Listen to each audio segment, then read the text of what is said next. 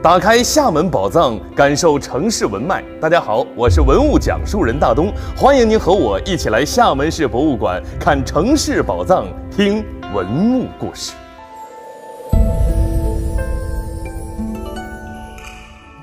随着科学的不断进步，越来越多的科学家认为宇宙有可能是多元的，存在着平行世界。为此呢，近年来欧美日韩都创作了大量的反映平行世界的文学和影视作品，譬如咱们大家都非常熟悉的豆瓣高分作品《彗星来的那一夜》，李敏镐的新作《永远的金主》和八零后的集体记忆《奥特曼》等系列。不过仔细算起来，咱们中国古人可是很早就有了这样的观念，体现在丧葬制度上，就是视死如视生，视亡如视存。也就是说，对待死去的亲人，要像他们还活着的时候一样。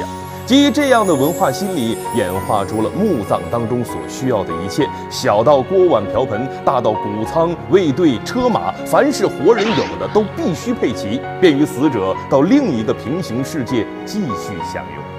今天，我们就要继续带您了解厦门本岛发现的唐代墓葬陈元通夫妇墓，一起去感受一下古人很早就流行的平行世界观。陈元通夫妇墓的考古发现是迄今为止关于厦门历史有明确纪年和年代最早的实物见证。两座墓室都是以特制的木砖建造的。男主人的墓室规模略大，内部空间通常五点四七米，宽二点一到二点一八米，高二点一米。人在墓室当中可以随意的直立行走。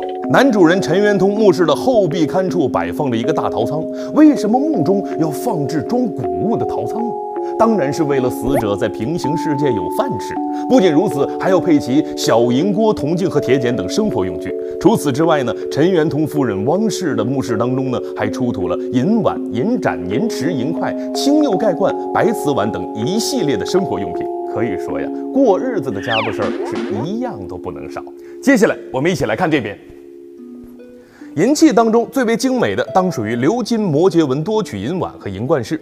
摩羯鱼呢，是佛经当中的神兽，形象栩栩如生，凶猛异常。传入中国后，被赋予了中国的鱼和龙的文化内涵，成为了大唐流行的纹饰。当然了，在当时呢，相对偏远的厦门岛发现了这样的器物，也再次的印证了大唐时期中华文明的昌盛和繁荣。瓷器当中的最著名的要属于邢窑的白釉碗和长沙窑褐绿彩双细罐，两者都是唐代最高级的瓷器，只有贵族和官宦才有机会使用。可以肯定，他们是随着墓主人生前由江西带到厦门的。即便是到了中后期，人和物能够正常的在省际间流通，这说明大唐王朝的治理能力确实是相当不错的。这两座唐墓除了考虑到主人的吃穿用度，还特意的安排了照明系统。尽管沉睡地下，男女两主人的墓室壁龛里都放置了长明灯、青釉碗，与活人的生活习惯一模一样。这样文物丰富的大墓在咱们厦门发现，证明了厦门的开发在九世纪中叶已经具有相当程度了。但是呢，在古代呀，建造两座如此大规模的墓室，耗时耗力，那家里煤矿可是建不了。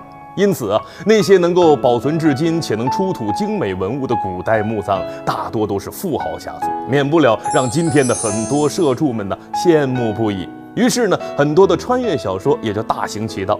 不过仔细想一想，平行世界也好，穿越世界也罢，毕竟都不是咱普通人能赶上的。回到现实世界，要想让自己的生活更加幸福，咱们呢还是得撸起袖子加油干。好了，各位，咱们本期的节目到这儿也就差不多了。厦门宝藏，我们下一期再见。